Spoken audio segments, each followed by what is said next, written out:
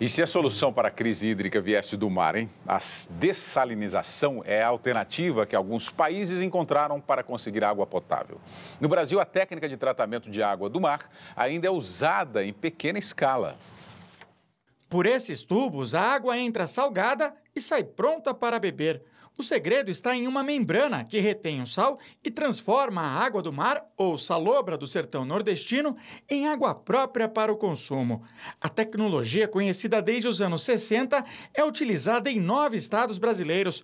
No arquipélago de Fernando de Noronha, em Pernambuco, 60% da água que chega às torneiras vem do sistema dessalinizador.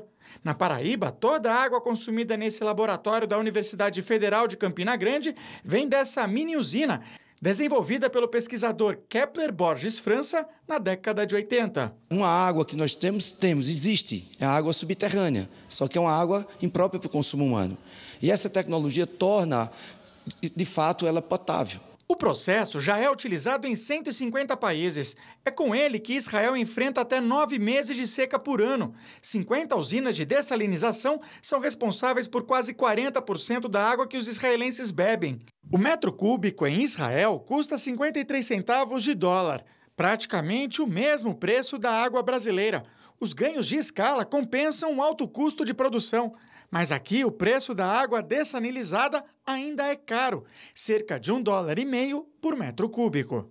Apesar do avanço da tecnologia, a dessalinização da água ainda não é considerada uma opção para grandes centros urbanos afastados do litoral. Aqui em São Paulo, por exemplo, a costa está a mais ou menos 80 quilômetros e, além disso, ao desnível de mais de 700 metros da Serra do Mar. Ou seja, a água precisaria ser bombeada, o que encareceria demais o custo da produção. Isso torna o custo de energia e de transporte praticamente inviável. Não é?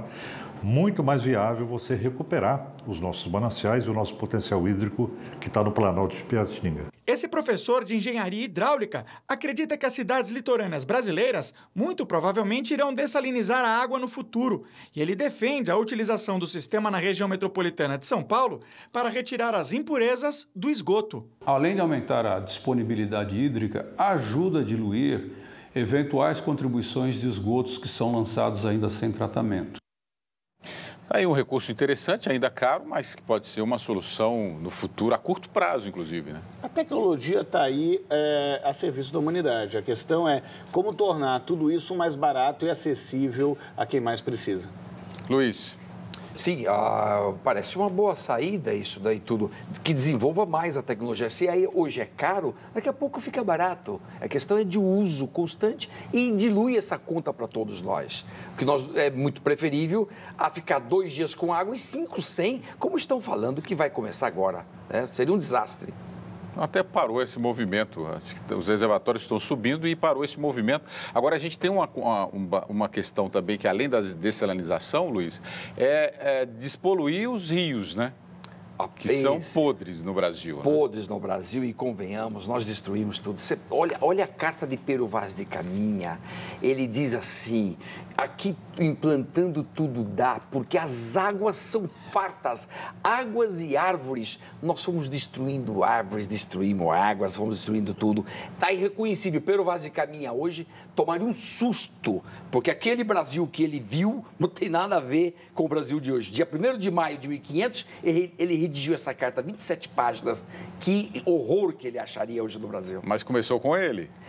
Começou com ele gastando água desnecessariamente, já cortando é, madeira e tudo, etc. Claro, com a escravidão em seguida, que veio em 32, 1532 em São Vicente, e vai por aí afora. Eles começaram a destruir, claro.